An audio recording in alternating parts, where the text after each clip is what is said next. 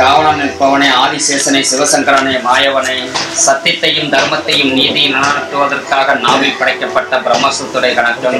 எந்த ஆதிகாலத்தில் எந்த முன்னோர்கள் கொண்டு வந்து நிலநாட்டப்பட்ட உண்மையான தெய்வீக சக்தி இங்க இருந்தான் உன்னை நம்பி வரக்கூடிய குழந்தைங்க என்ன குறி நினைச்சு கேட்குறாங்களோ அந்த குறிகளை சொல்லி அந்த குடும்பங்கள் அனைத்தும் பாலாறு சொல்லமா இருக்கணும். அந்த பேரும் புகழ் இந்த ஆலயத்துக்கு இந்த ஊருக்கு வந்து உடம்பணுமையா தற்போக்குல இருந்தவன் நாவல உட்கார்ந்து வாக்கு குறிச்ச தெய்வீக சக்தி இங்க பிறந்தான். தர்மத்துக்கு நீதிக்கு வாக்களிங்கயா மகாபிரபு ஆதிசேஷ சிவசங்கர மாயவா எல்லமல்ல இறைவா பரம்பொருளை பாதுகாத்தாய் அகிலாண்ட ஈஸ்வரி பிரமதேவா நாராயணன்.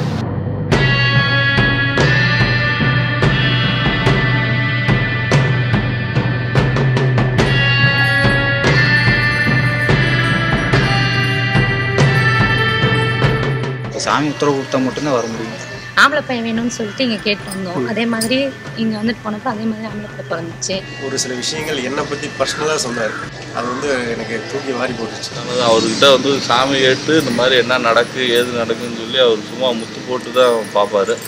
பார்த்து சொன்ன உடனே வந்து அப்படின்னு சாமியே சொன்ன மாதிரி இருக்கு. அந்த மாதிரி. இந்த சாமி உத்தரவு கொடுத்தா தான் நான் வர முடியும். வாக்கரிசி போட்டு இறந்த பிரேயத்துக்கு மாதிரி பண்ணி பூஜை எல்லாம் பண்ணி. அதை விட இன்னைக்கு வந்து சாமி தண்டவாணி சாமி பார்க்க வந்தது நல்ல டெவலப் இல்லை தன்னை சாமி ஒண்ணே ஒண்ணு மட்டும் சொல்றேன் கேக்குங்கண்ணா எனக்குள்ள ஏதோ ஒரு தெய்வ சக்தி அதை அக்செப்ட் பண்ணிக்கலாம். என்கிட்ட வராத அரசியல்வாதி யார் இருக்காங்க?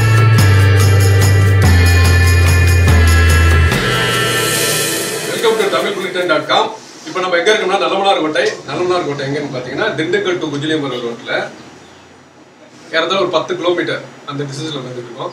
இங்க கற்பனா சுவாமியின் வரம் பெற்ற நம்ம பாபா இருக்கார் அவர் அருள் பெற்ற திரு தண்டபாணி சுவாமிகள் அவர்கள நம்ம இப்ப சந்திச்சு பேச போறோம். இவர் என்னன்னு கேட்டீங்கன்னா பின்னாடி நடக்கிற விஷயங்கள். அதை வந்து முன்னாடியே நீங்க இந்த பரிகாரம் பண்ணா நிவர்த்தி பண்ணலாம்னு சொல்றாரு. வாங்க சந்திப்போம். வணக்கம். நல்லமனோர் ரோட்டை கிராமம் நல்லமனோர் ரோட்டையில் இருக்கும் மலையாள கருப்பணசாமியினுடைய அருள் வாக்கினுடைய பரம்பரை வாக்குஸ்தானம் இரண்டாயிரத்தி ரெண்டு இந்த கோவில் நிலநாட்டப்பட்ட தெய்வீகத்தினுடைய சக்தி. இரநூத்தி ரெண்டு வருடங்களுக்கு முன் இந்த தெய்வீக சக்தியில் வாக்குஸ்தானத்தில் பூசாரியினுடைய தொண்டலிய வாக்கு தலமர தத்துவமாக முன்னோர்கள் பார்த்து வந்ததில் ரெண்டாயிரத்தி ஒன்றுலேருந்து சாதாரணமாக தெய்வ பணியில் இருக்கிறப்ப அருள் இறங்கி வாக்கில் உட்காந்து ரெண்டாயிரத்தி ஒன்றுலேருந்து சொல்லிக்கிட்டு இருக்கேன். வர்ற மக்கள் குறை.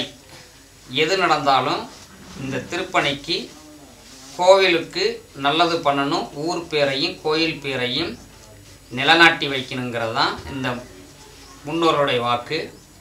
இந்த தெய்வஸ்தலத்தில் எத்தனையோ மக்கள் வர்றவங்களுக்கு குறைகளை தீர்த்து கொடுத்து இந்த ஊரோட பேரையும் இந்த கோயிலோட பேரையும் நிலநாட்டி வச்சுக்கிட்டு இருக்கான். நாங்கள் நாலு வருஷமாக இங்கே வந்துட்டு இருக்கோம்.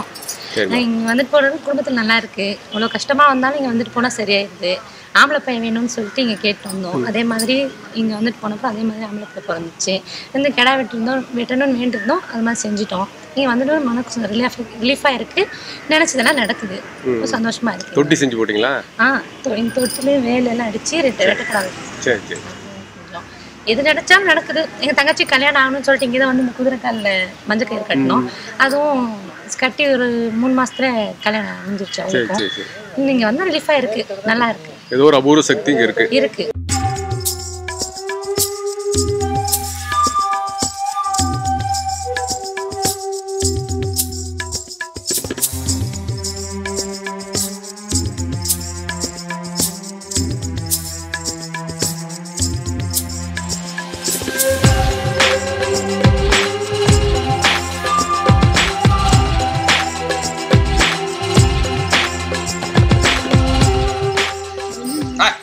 உனக்கு தானே வேலை வேணும்.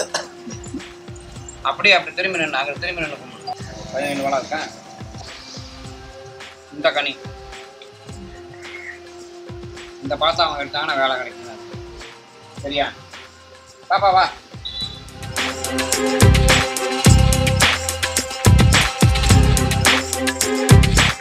நல்லா வேண்டி கும்பிடு.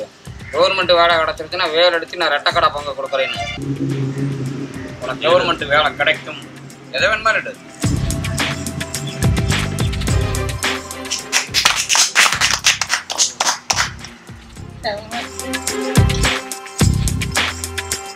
போய் வேண்டி கும்பிட்டு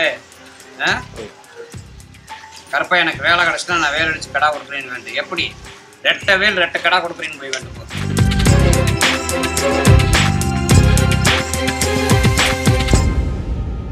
நான் ஒரு இந்த பிறந்திருக்கேன் இந்த பிறந்திருக்குல கடவுள் அப்படிங்கிற கருப்பைங்கிறது வந்து அந்த வாக்குல இந்த கோவிலுக்கு தொண்டிலியம்ன்ற வாக்குல தான் வருது.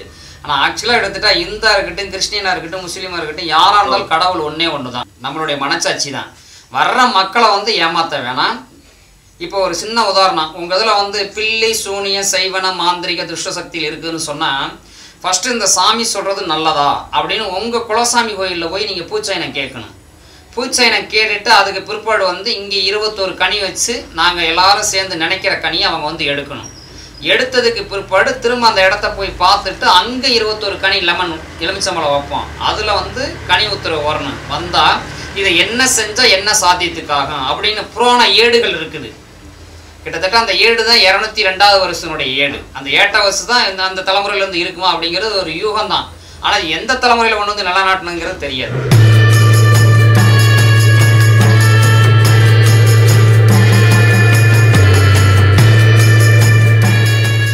சேலத்துலேருந்து வர்றோம். நாங்கள் வந்து எங்கள் பையனை காணாம தேடி வந்ததில் சரி. வந்து இவர்கிட்ட கேட்டோம்.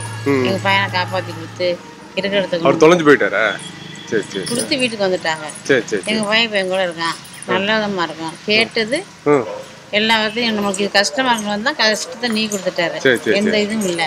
இன்னைக்கு நல்லா இருக்கும் நாங்கள் இப்போ ஒன்று நிறைவேற்றி கொடுத்தா ஒன்று பண்ணணும்னு வந்து சாமி சொல்லுவார் இல்லையா? சாமி வந்து உன்னோட கஷ்டம் தீர்ந்துருச்சா? நீ. என்ன நினைக்கிற? செஞ்சுட்டு போ. அது என்ன செஞ்சீங்க? நான் இன்னும் ஒன்றும் செய்யலை. சரிம்மா அந்த வேலை பற்றி உங்களுக்கு தெரியுமா? எதுக்கு இவ்வளோ ஒரு பத்து இருபது வேல் இருக்கு. வர்றவங்க நேர்த்தி கடை அந்த. வேலு. எனக்கு இன்னது எனக்கு செய்தி? நான் கடவுளுக்கு நேர்ந்துக்கிறேன். நான் வந்து உனக்கு இந்த வேல் ஊன்றேன்னு சொல்லி நேர்கிறது. குழந்தை இல்லாதவங்க எனக்கு குழந்தை அது பாக்கியம் எதுங்க இருக்கு? இந்தா தொட்டில். ஓ தொட்டில். நேர்ந்துக்கிறது. அவங்க வந்து. குழந்தை வந்துட்டா அவங்க தொட்டில் கொண்டு கட்டி பொங்க வச்சுட்டு அவங்க போகிறது ம். வேலு நினைச்சது வரையில வேலு ஊண்டிட்டு மாதிரி இந்த இடத்துல வந்து ஜாதி மதம் அப்படிங்கிறதெல்லாம் எதுவுமே கிடையாது. எல்லாருமே இறைவனுடைய குழந்தை. இந்த இவனை போட்டுட்டு நான் சுமந்தேன்னா என்ன சுமந்து பெத்த என் தாயே வந்தாலும் என் பிள்ளை தான். கருப்புசாமி நம்பி வந்தோம். நல்லபடியாக இருக்குது. இப்போ எங்கள் குடும்பம் நல்லா இருக்குது. பையனுக்கு கல்யாணம் முடியலன்னு சொல்லி வந்தோம். கல்யாணம் முடிஞ்சிருச்சு. குழந்தை இருக்குது. எல்லாமே இருக்குது. நேர்த்தி கடன் மட்டும் வந்து செய்யணும். கடா வெட்டி பொங்கல் வைக்கிறோன்னு வேண்டி இருக்குது ஆக்சுவலாக வந்து இப்போ எங்கள் தாத்தா தாத்தாவோட பிறந்தவங்க ரெண்டு பேர். அதுக்கு பிறகு வந்து தாத்தாவுக்கு அடுத்து இப்போ எங்கள் அப்பா வந்து டாக்டராக இருந்தார். இப்போ நான் வந்து மெடிக்கல் முடித்தவன் சரிங்களா?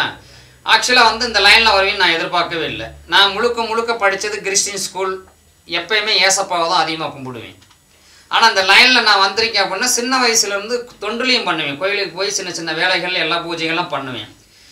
அது இறைவன் யார் மேலே இறங்குது? நூற்றுல ஒருத்தர் லட்சத்தில் ஒருத்தர் ஆயிரத்தில் ஒருத்தர் அவர் இறங்குறது. அந்த இறங்குறது வந்து தெய்வ உணர்வோடு நம்ம செய்யணும் அவங்களுக்கு. முத வர்றவங்களுக்கு வந்து ஒரு நல் நல்ல பலன். நல்லது நடந்துச்சுன்னா நீங்கள் கோயிலுக்கு செய்யுங்க. ஆனால் தமிழ்நாட்டை பொறுத்தளவுக்கு வந்து கோயில் குளங்களில் தானங்கள் கொடுப்பாங்க. ஆனால் இங்கே வந்து க சாமி சொல்கிற இடத்துலையோ ஜாதகம் பார்க்குற இடத்துலையோ கொடுக்க மாட்டாங்க. சரிங்களா? இங்கே வந்து எல்லாத்துக்கும் சாப்பாடு கொடுத்துட்டு போனோம்னா அதனுடைய திருப்தி உலகத்திலே சிறந்தது. தானம். வர்றவங்களை என்ன சொல்லுவேன் தயவு செஞ்சு கோயிலில் இருக்க பிச்சைக்காரங்களுக்கு பிச்சை போடாதீங்க. சாப்பாடு வாங்கி கொடுங்க. கடையில் நாலு பொட்டின இட்லி வாங்கி கொடுங்க.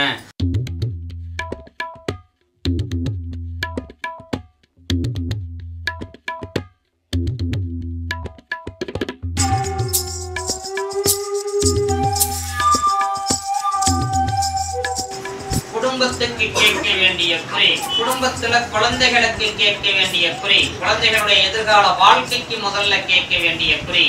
வாழ்க்கை சம்பந்தப்பட்ட பிளப்பனுடைய தொழில்களுக்காக கேட்க வேண்டிய பிள்ளைகளுடைய குறி கணக்கப்பான்னு சொல்லி சொல்லுது. என்ன வேணுங்க ஒரு சாமி மதத்தை முன்னாடி இப்போ எல்லா மதம் இந்து முஸ்லீம் கிறிஸ்டின் அனைத்து கேஸ்டும் வந்து உள்ளே வருவாங்க. சாமி கும்பிடுவாங்க. சாமிகிட்ட கேட்பாங்க. இதே மாதிரி அவர் சொல்லுவார் சாமி வந்துட்டு எனக்கு எது வேணாம். சாமிக்கு வந்து உங்களுக்கு என்ன முடியுமோ அவருக்கு வந்து வந்து ரத்தப்படி தான் கிடா தான். நீங்கள் வெட்டி கும்பிட்டு போங்க. கும்பிட்டு நடந்தால் நீங்கள் வந்து செய்யுங்க. நடக்கலைன்னா நீங்கள் செய்ய வேணாம் அப்படின்னு சொல்லுவார். ரொம்ப கஷ்டமாக இருந்துச்சு. இங்கே வர ஆரம்பித்தோம் ரொம்ப கஷ்டத்தில் இருந்து இங்கே வந்து வந்துட்டு போகும்போது நல்லா இருந்துச்சு. அதுக்கப்புறம் வீடு கட்டணும்னு வந்து சாமி கும்பிட்டோம். வீடு கட்டிட்டோம். அதுக்கப்புறமா வந்து மாதம் மாதம் வந்து இங்கே வந்து தீபம் போட்டு சாமி கும்பிட்டு போவோம் குடும்பத்தில் கஷ்டம் கம்மியாக இருக்குது மனசுக்கும் நல்லா ரிலாக்ஸாக நிம்மதியா இருக்கு. அதனால இங்கே வந்துட்டு போயிட்டு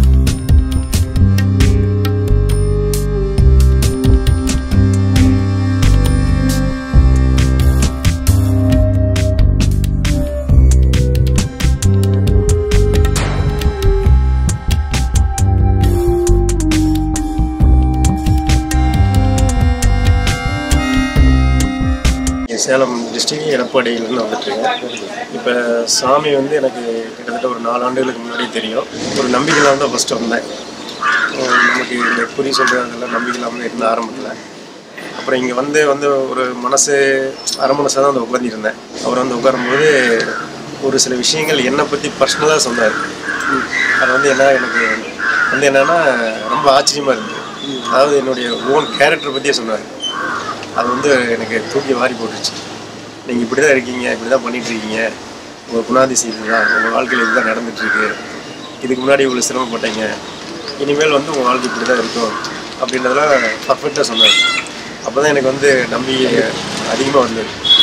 அப்புறம் பார்த்தீங்க அப்படின்னா அப்போ நான் அடிக்கடி வர ஆரம்பித்தேன் அடிக்கடி ஆரம்பித்தேன் அப்புறம் சாமி வந்து எந்த ஒரு விஷயங்கள் வந்து என் வாழ்க்கையில் வந்து ஏதாவது நான் ஆரம்பிக்கணும்னா கூட சாமியை கன்சல்ட் பண்ணி தான் ஆரம்பிப்பேன்.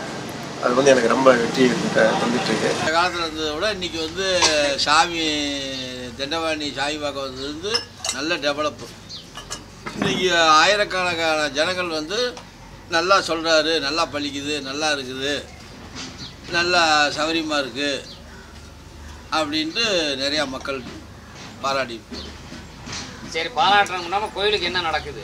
கோயிலுக்கு வந்து கெடா பொங்கல் கொடுக்குறாங்க. வேல் கம்பி அடித்து வைக்கிறாங்க மொட்டை எடுக்கிறாங்க. நல்லா விசேஷமாக வந்து செஞ்சுட்டு போகிறாங்க இந்த ஊரோட சிறப்பு எந்த அளவுக்கு போயிடுச்சு இன்னைக்கு பெரிய லெவலில் இருக்குதுங்க நல்லா இந்த சாமி வந்து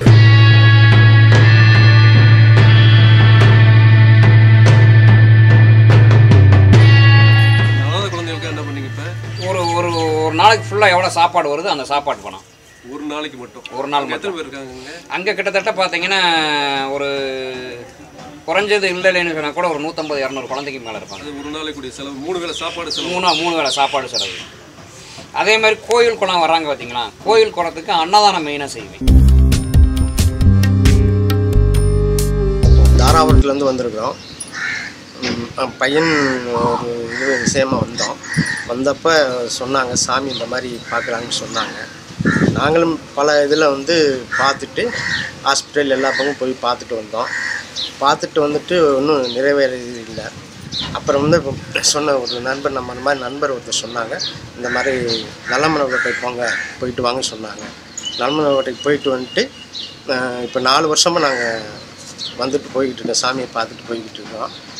இப்போ ப பையனுக்கு வந்து எந்த பிரச்சனையும் இல்லை. இப்போ நல்லா இருக்கா? ஸ்கூலுக்கெல்லாம் போய்கிட்டு இருக்கான் வாழ்க்கை கட்டி வாக்கரிசி போட்டு இறந்த பிரேதத்துக்கு மாதிரி பண்ணி பூஜையெல்லாம் பண்ணி இப்போ தம்பி என்ன நிலைமையில இருந்தான்னு மட்டும் சொல்லுங்க. அஹ், ரொம்ப பொழைக்க முடியல கிரிட்டிக்கலான கண்டி பொழைக்க டாக்டரே கையை ஒரு கையை விரிச்சிட்டாரு. அந்த அளவுக்கு இங்கே வந்து இந்த நல்லமனோட கருப்பணசாமி கோயிலுக்கு வந்து நல்லா இதாக